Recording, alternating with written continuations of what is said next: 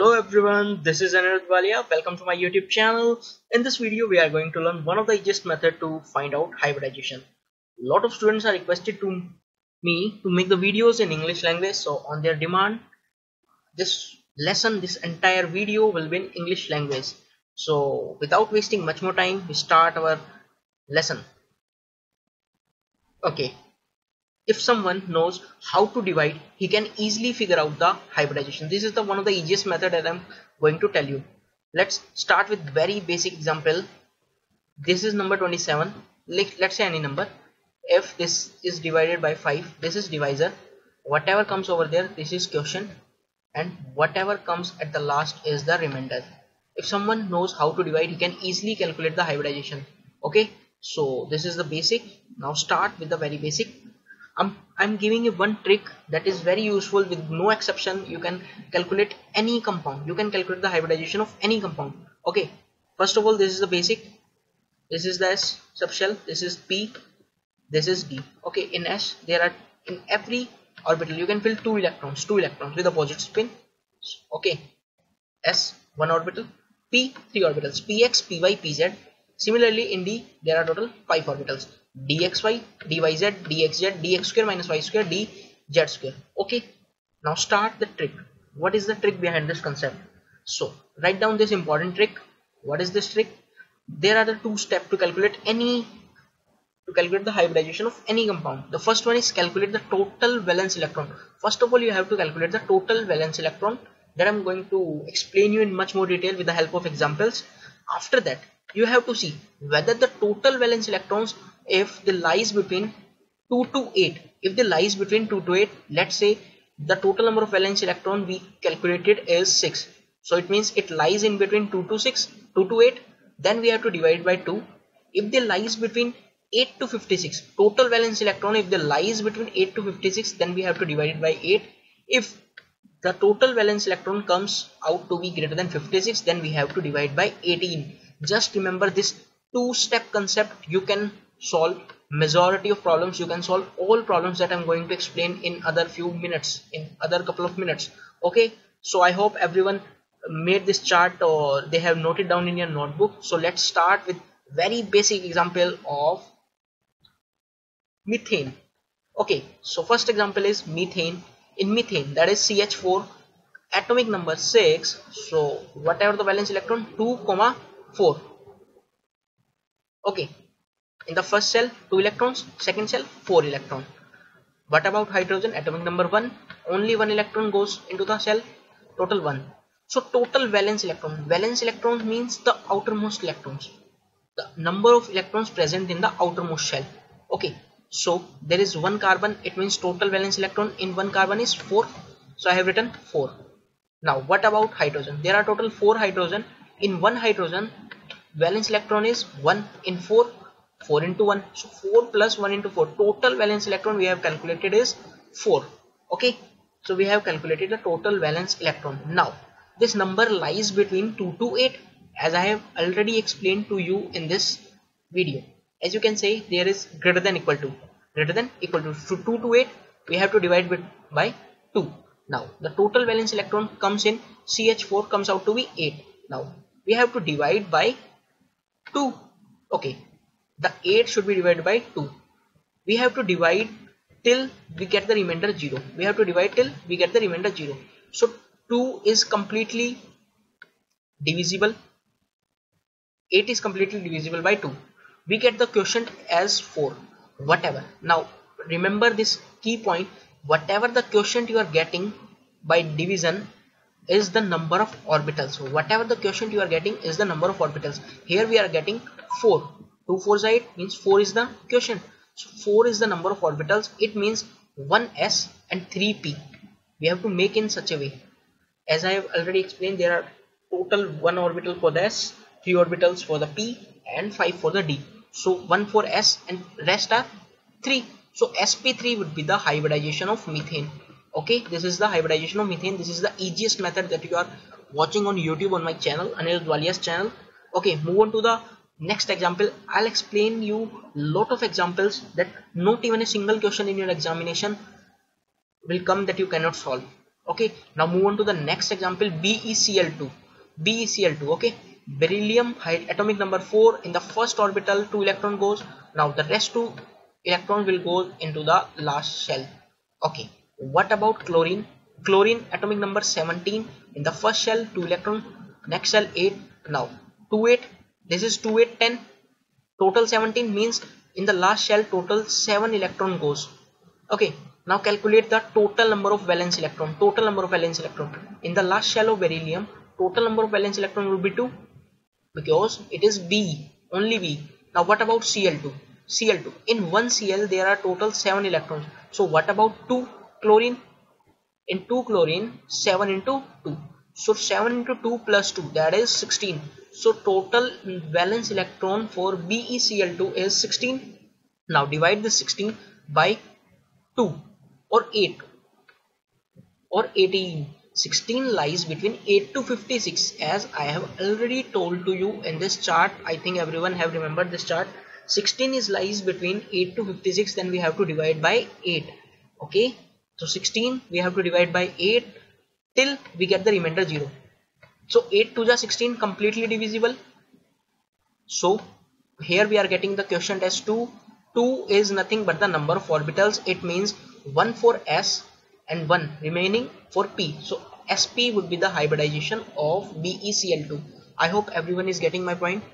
I think they have solved this problem. Now move on to the next problem. It is very easy problem.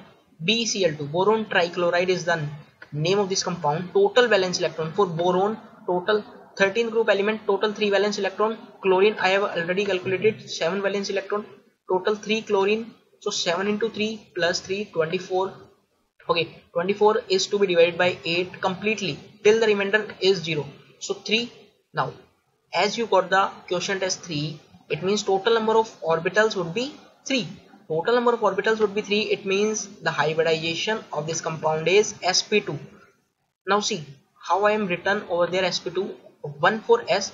Now rest 2 is for to make the 3 so sp2 would be the hybridization of bcl3 i hope everyone is getting my point. Now move on to the next example. Sim similarly very basic example of ammonia you can calculate easily now you can also calculate by your own total valence electron for the nitrogen group 15 element 5 electrons in the valence shell hydrogen 1 electron total 3 hydrogen is there. So 1 into 3 total valence electron would be 8 it should be divisible by 2 because 8 lies between 2 to 8 completely divisible by 4 by 2 quotient we are getting as S4 it means sp3 would be the hybridization of ammonia I hope this is the easiest method that you are watching on Anirudh Walia's channel. Now one of the major trick that I'm going to tell you is what? To calculate the lone pairs. In every year in every year whether it may be the exam of NEET or it may be the exam of IIT JEE, JEE mains every year definitely one question will be asked from this concept that I'm going to explain you in another couple of minutes. And what is the concept? To figure out the number of lone pair from the past two to three years what NEET or IIT has been asked the questions on the concept of the lone pair. So for that particular question I am going to explain you one awesome trick. And what is the trick? To calculate the lone pair. Lone pair is nothing but the number of orbitals. And number of orbitals that I have already told you is nothing but the quotient. To figure out lone pair you have to subtract num number have you have to subtract surrounding atoms from the number of orbitals. Now I, now now I'll explain you what is the surrounding atom and what is the number of orbitals. As I think everyone knows about the number of orbitals in the previous example this is the quotient would be the number of orbitals and surrounding atom is what I'll explain you through an example. Okay let's say start with the very basic example lone pair. Lone pair equal to number of orbitals minus surrounding atom. Please note down this is the most important trick that i have explained in this video. Very important. Every year one or two questions will be asked directly from this topic. And the examples that i have considered in the upcoming slides they have already asked in the previous examinations. So there may be a chance these questions may come in the NEET exam or it may in the state PMT's exam. Okay. So start with the very basic example of ammonia. In ammonia lone pair how you would calculate lone pair this is LP lone pair. Number of orbitals. For ammonia I have already calculated the number of orbitals. You would you can may ask sir how we have calculated number of orbitals? Oh sir okay here you have already calculated. Yes 4 would be the number of orbitals that is the quotient okay so 4 I have already calculated minus. Now minus what is surrounding atoms? So for ammonia for nitrogen how many surrounding atoms are there? For nitrogen there are total 3 hydrogen are surrounded. So means surrounding atom would be 3 so 4 minus 3 is 1 okay? So in ammonia total number of lone pair is 1 okay? This is n this is one lone pair this is hydrogen this is one hydrogen and this is one hydrogen. This would be the structure of ammonia and we have already calculated the hybridization. This year they may ask the calculate the number of lone pairs. So you can easily calculate the number of lone pairs. Okay now move on to the next example bcl3 total. Number of orbitals 3 i have already calculated. You can reverse go to the video and you can see this is the 3 and for the surrounding atoms in boron total 3 chlorine atoms are surrounded. It means 3 surrounded atom is 3 so 3 minus 3 is 0 so in bcl3 boron trichloride there is no surrounding atom it means no sorry no lone pair. Okay now come on come to the next example. This is sf6 sulfur hexafluoride. So total valence electron TVE, TVE is total valence electron. Sulfur belongs to the group 16 so total valence electron would be 6 now fluorine the total so fluorine valence electron would be 7 and how many fluorine are there? Total 6 fluorine atoms are there. So 7 into 6 so 7 into 6 plus 6 the total would be 48 I hope everyone is getting my point. Now 48 lies between 8 to 56 so we have to divide it by 8 we have to divide it by 8 till we get the remainder 0 okay 7 6 are 48 6 would be the number of orbitals. So 6 how would we manage the hybridization? 1 for s 1 for s everyone knows from p there are maximum 3 possibilities 3 orbitals. So sp3 so total 3 plus 1 4 is there. Now we have to make it 6 means 2 are left. So for 2 they would go for the d orbital. So sp3 d2 i hope everyone is getting my point. So sf6 hybridization is nothing but sp3 d2 i think everyone have calculated already. Now move to the lone pair. How would we calculate the lone pair now this is the lone pair. Number of orbitals minus surrounding atom. Number of lone pairs is what? This is 6 now surround, surrounding atoms. In SF, SF6 sulfur hexafluoride surrounding atoms is also 6 so 6 minus 6 is 0 so it means number of lone pairs in SF6 is 0 and hybridization is sp3d2 I hope these examples are already whatever I have given the instructions you have already calculated through this. Now see the concept the concept behind the one of the most important example. Now move on to the next example. Xenon trioxide XeO3 this is the very important. Please try to understand. This is very important. Okay total valence electron. First of all we will calculate the total valence electron xenon. Xenon belongs to group 18 means total means for the xenon valence electron would be 8 plus oxygen.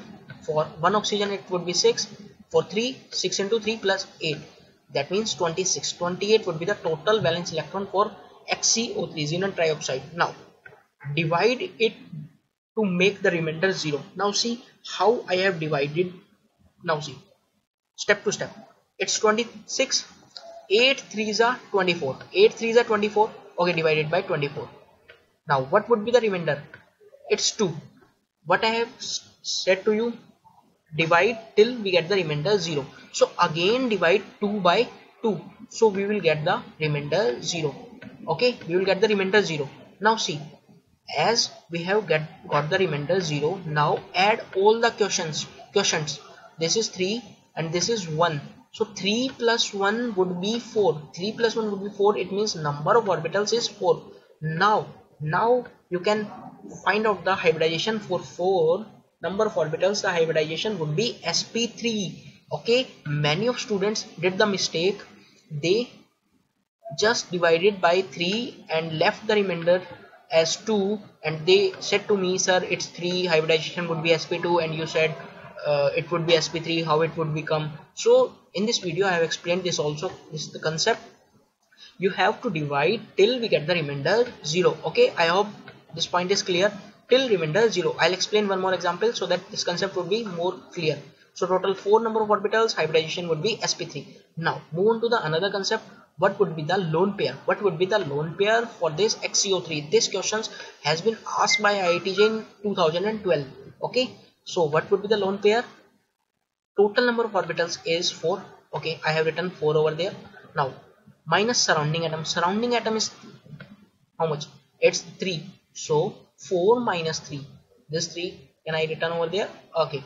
4 minus 3 means 1 4 minus 3 is 1 so in XeO3 the number of lone pairs is 1 this question is also asked by NEET examination and also by IITJ so this is the very important concept. I'll explain you. I hope everyone can calculate this hybridization and total number of lone pairs NH4 plus. Okay now see the concept. If I haven't written plus sign only NH4 it means 5 plus 1 into 4 you can easily now plus sign. See the plus sign means cation is formed one electron is lost from this compound only then plus charge came on this compound. It means one electron is lost minus means minus 1 so 5 plus 1 into 4 9 minus 1 that is 8 okay 8 so you have to divide by 2 because it lies between 2 to 8 so 4 is the number of orbitals means hybridization is sp4 okay hybridization concept clear? Now move on to the lone pair. What about the lone pair? Number of orbital is 4 surrounding atoms is also 4 so 4 minus 4 is 0 so nh4 plus number of lone pairs is 0 but in ammonia nh3 number of lone pairs is 1 clear? Don't just mug up all these concepts. Try to focus and try to practice as much as you can. Okay this is the last example of this video. Again what very important example total valence electron is what for xenon it should be 8 for oxygen it should be 6 for fluorine it's 7 but into 4 7 into 4 so total valence electron comes out to be 42 okay now the number lies between 8 to 56 so we have to divide by 8 okay maximum 8 5s are 40 okay i have written 40 over there. Now many of students what they did they have just seen the number 5 and they have said they said to me sir hybridization should be sp3d for xeof4 and you said sp3d2 now once again students i'm what trying to say divide till you get the remainder as 0 okay? You get 2 over there. Now again divide 2 by 2 so that you can get the remainder 0 so 2 by 2 remainder 0 it means 2 1 are 2 so here 1 comes out to be. Now add now add the questions both questions. 5 plus 1 5 plus 1 is 6 so for 6 hybridization should be sp3 for s maximum 1 for p maximum 3 and d. 3 plus 1 is 4 and d2 so 4 to 6 sp3 d2 would be the hybridization of xef4 now you can calculate also the lone pair. 6 is the number of orbitals minus surrounding atoms. Surrounding atoms is 4 plus 1 4 plus 1 is 5 6 minus 4 plus 1 is 1 so number of lone pairs in xcf4 is 1 i hope i am able to deliver my concepts that i have. And everyone now calculate the hybridization and number of lone pairs in a very easy manner. I hope everyone liked my video. So i would request to subscribe my channel and share your videos with your friends so that i can make lots of video for you. And if you have any doubt and you want to learn any concepts or you want any tricks please comment so this video. I'll help you. I'll make another videos. I have already uploaded lots of videos. So best of luck for your examination. God bless you all. Thank you